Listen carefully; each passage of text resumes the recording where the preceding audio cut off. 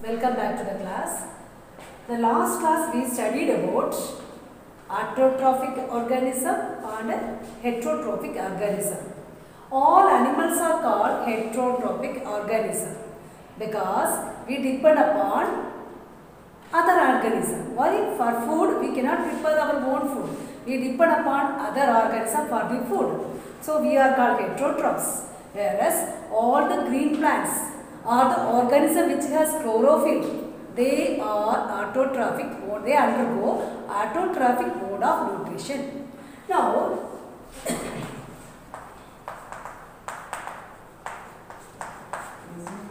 auto. What is the meaning of auto self? What is uh, trophic? What is the meaning of trophic? Nourishment. They self auto means self. They themselves nourish. That means they prepare the food. Nutrition. They prepare their own food. So the word is autotrophs. Auto means self. Uh, trophic means nourishment. Nutrition. That means nutrition. They provide. They prepare their nutrition chemical food. Next, uh, they are these autotrophs are called autotrophic animals are called producer. What is the meaning of producer? They produce food. They produce glucose. All the green plants, the plants, the organism which has chlorophyll, they produce food with the help of sunlight. Okay, carbon dioxide. So they are called as producer. Who are called producer? Autotrophic organisms are called producer. Why? Because they prepare their own food by themselves. By themselves. So we are not producer because we cannot prepare our food by ourselves. We depend upon plant and animal, other animals. Second question is, what, how do plants prepare their food? Plants, the leaf of the plant prepare the food. You know, kitchen of kitchen of the plant is leaf. Which part of the plant is kitchen? For the plant, we say leaf is a kitchen of the plant. Why means leaf is a part of the plant in which chlorophyll is present. Okay, because uh, the presence of chlorophyll, one one small component is present. The component is called chloroplast. So in green plants, this component is present. This organism is present. Components, organelles we say, okay. Chloroplast is present in the leaf, which has green, green color pigment chlorophyll. Chloro, green chlorophyll.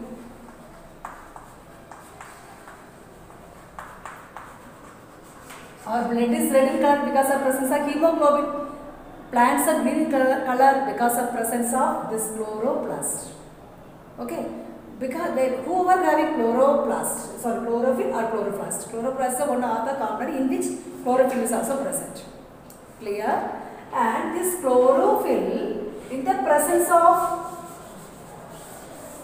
in the presence of sunlight and by taking carbon dioxide, they prepare, these plants prepare food. How do they, what is the photosynthesis? This is equation of photosynthesis reaction. What is the equation? Plants take carbon dioxide from the atmosphere and take water. This is a function of chlorophyll. Chlorophyll only does this all function. They, because of chlorophyll, this uh, preparation of food occurs. Chlorophyll prepare, take the carbon dioxide from the atmosphere and water. Okay, in the presence of sunlight. Okay. they prepare glucose C6H12O6 plus oxygen. Oxygen is a gas, so O2. This is a reaction of photosynthesis reaction. Photosynthesis reaction. So plants are having chloroplast one organ. The chloroplast, what is the main component? Chlorophyll.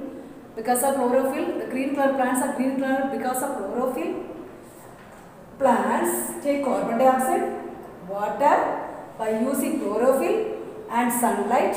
They prepare the food called glucose. What is that? Glucose plus oxygen gas. This is a chemical food because new compound forms, so we can say chemical energy is stored. Understand? This is stored in the stored by the leaf of the plant. Okay, uh, how it happen is through the leaf, lower surface of the leaf, lower surface of the leaf, stomata is present. Okay, stomata is present. These are called stomata, opening, small opening, hole, hole-like structure present under the surface of the leaves. Okay, each stomata, this is called stoma. Together called stomata, plural form, singular form is called stoma. Okay, where it is stoma. Understand? Uh, through the stoma, what will happen? Exchanging of gas occurs. That we study next question. Now listen. Now what is the uses of photosynthesis? Now question is what is the importance of photosynthesis? Uses or importance? What is the uh, uses? The first uses is they liberate oxygen. For all the living organism, oxygen is the element which is most compulsory because we take oxygen. Every cell respiration, do respiration with the help of oxygen. If there is no oxygen, we cannot survive. So, these plants are releasing oxygen. So, this process is called photosynthesis. So, what is use of photosynthesis? They release oxygen which is needed by us. All the living organisms need oxygen. So, first uses is they produce, gives oxygen. Second is balancing. They balance carbon dioxide and oxygen. How it balance? Morning time, plants do plants do what reaction? Photosynthesis reaction. What they do now? Now daytime, no? They the presence of sunlight, they take carbon dioxide from the atmosphere and they release oxygen. Understand? And night what they do? Like us. We what what which gas they release? Carbon dioxide. The same way, same manner, plants also liberate.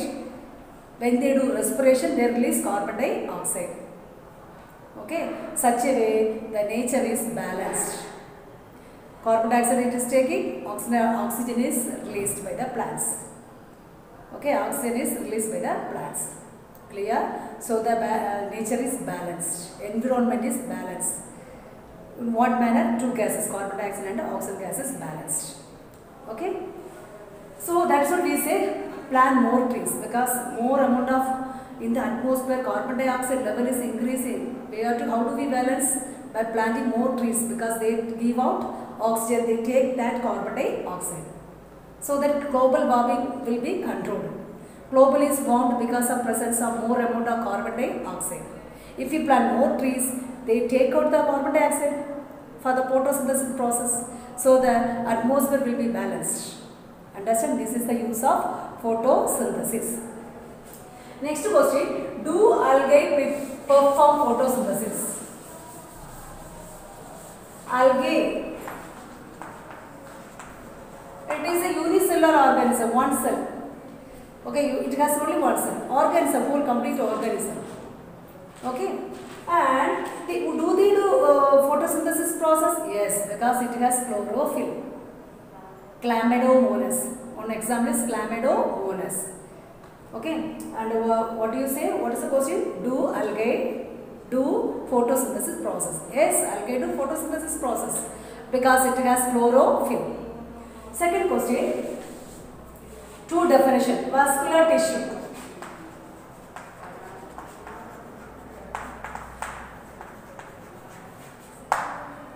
Our body, there is so, so many nerves are connected, no? It is a connective tissue. Many nerves are connected to the spinal cord and to the brain. Same way, every plant leaf, you can see small nerves. Isn't it? Small vein. And main plant also, inside small tubes are going. That tube-like structures present inside the plants are called vascular tissues.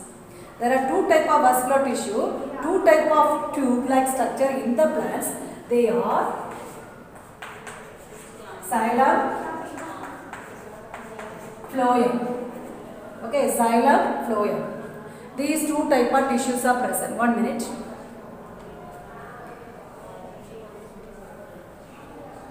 Okay. Here two type of vascular tissue, uh, tube-like structure present inside the plant. What is the function?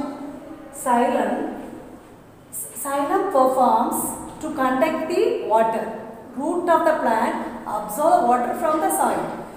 This absorption is done by this xylem tube, xylem vein, which is present inside the plant.